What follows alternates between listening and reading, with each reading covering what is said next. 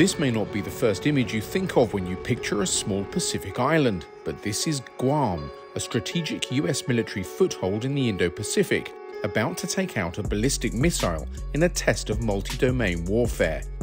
Using the Aegis Guam system integrated with an AN/TPY-6 radar and a vertical launching system, it's the first end to end tracking use of the radar during a live ballistic missile flight test.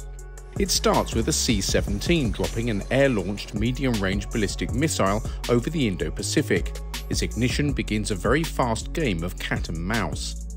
Radar operators at Anderson Air Force Base scanning for incoming threats detect the target. It's now being tracked. The AN/TPY-6 radar quickly acquires it, locks in, and communicates with the Aegis Guam system. That's where that SM 3 surface to air missile launch you saw at the start comes in now fired from a vertical launch system. The Aegis Guam system guides the missile as it rapidly goes through various ignition phases, the third and final stage releasing its warhead to intercept the incoming threat.